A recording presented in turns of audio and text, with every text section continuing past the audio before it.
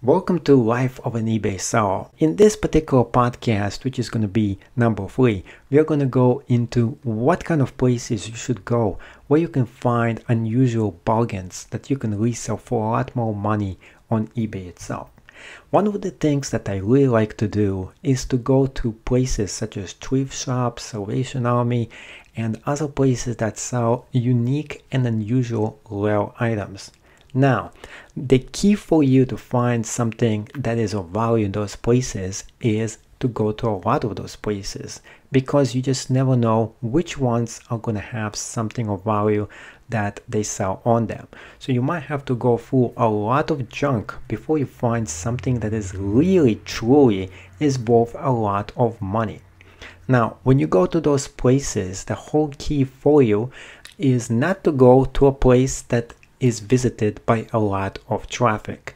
What I mean by that, let's say for example, you want to go to a Salvation Army and get something unusual to resell for a lot of money on eBay itself.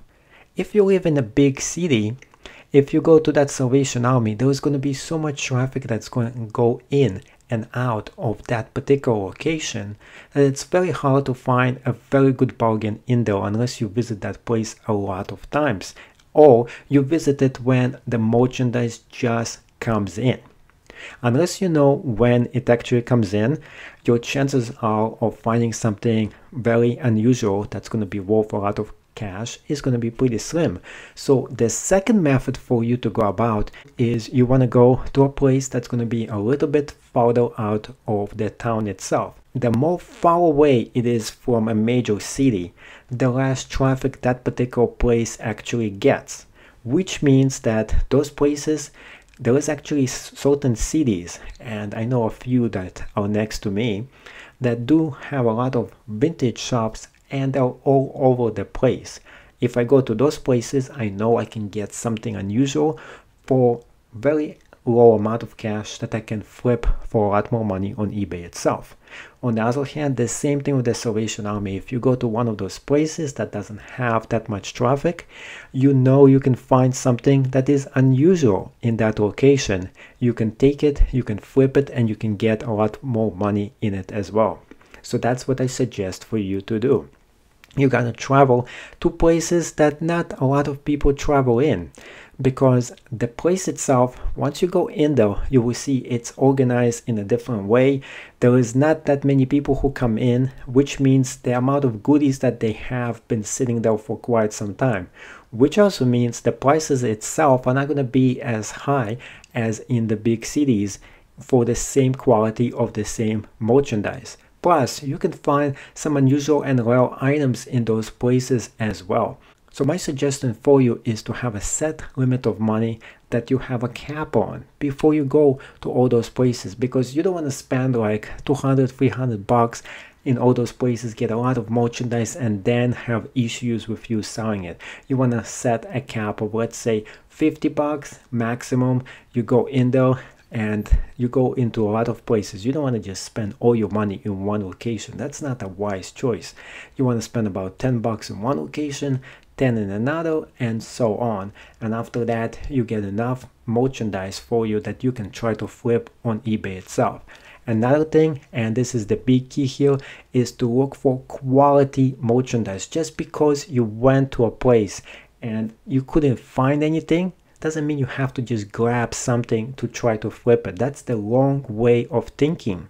In fact, if I go to 10 different places and I can't find anything that I can resell, I'm just going to keep on going to another location. I'm not just going to go and grab something and hope it's going to flip for more money because I want to have the most biggest odds of success as I can possibly find.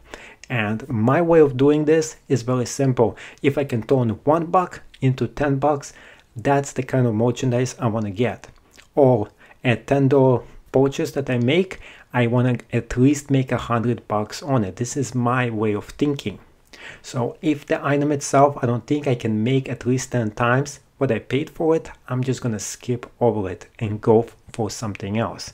So that's my rules. You have to have a set of rules you go by because otherwise you'll be like, oh, this is kind of cool. Let me get this, let me get that. And after a while, you just have a humongous amount of merchandise and then you can't resell it for its value that you paid for it which is why record keeping is also very important when you buy something make sure you write on a piece of paper and find out how much exactly you paid for this item so you can list it for a lot higher once you put it on eBay.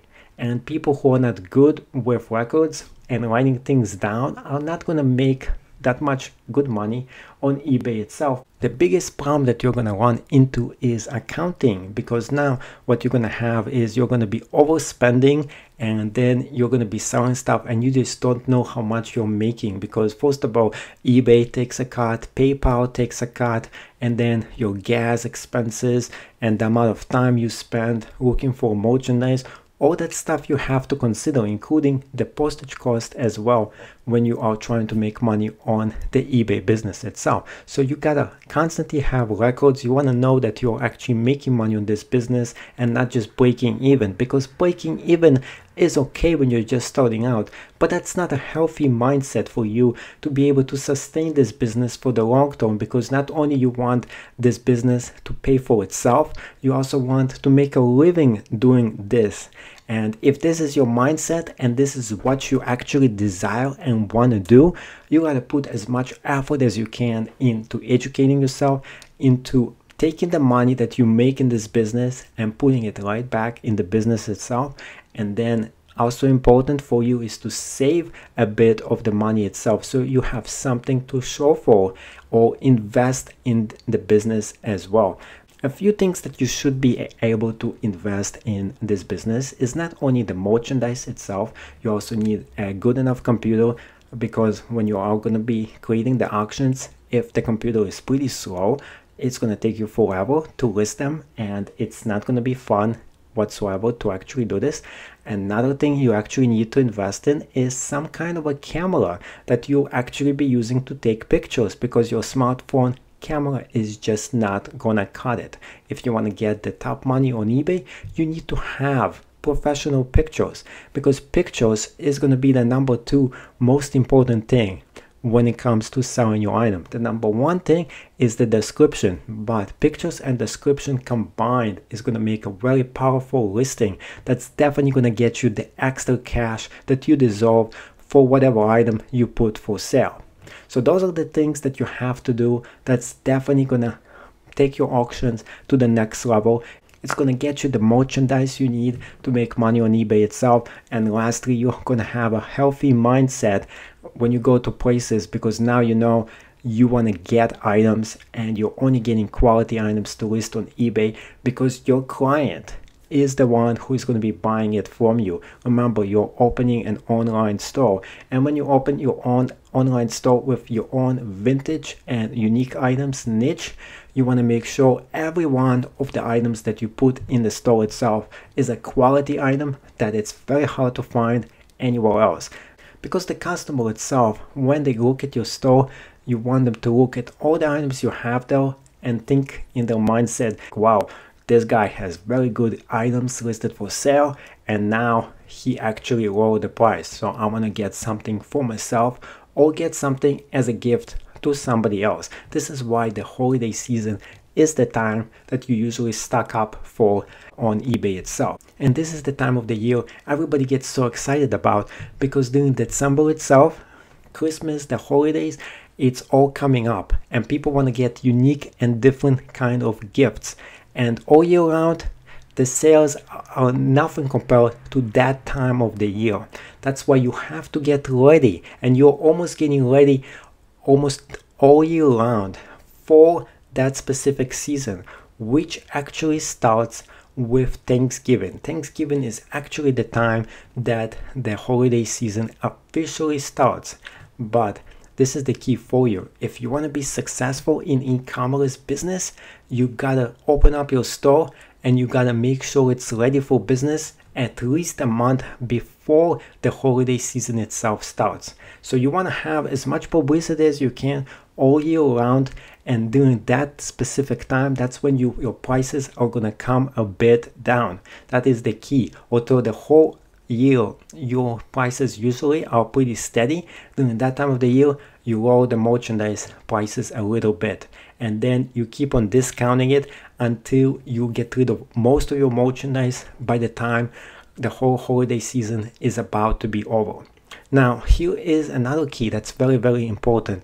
Around January is when you usually end up trying to get rid of most of your merchandise, not in December. This is a key mistake some newbies actually make. They try to get rid of everything before Christmas, but there's going to be a huge month that you're missing, which is from around end of December to mid January, and people are still buying gifts during that time of the year.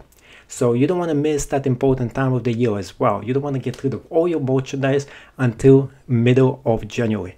And after that, whatever you haven't sold, you keep it for next year. There is no reason for you to get rid of everything, but you want to get rid of what you're selling for very good prices because that means you can go next year and you're doing the same process all over again. You're, you're going to go to a lot of those places I mentioned in this course itself and I'm going to go back and get as much merchandise as I can and I do this process all over again.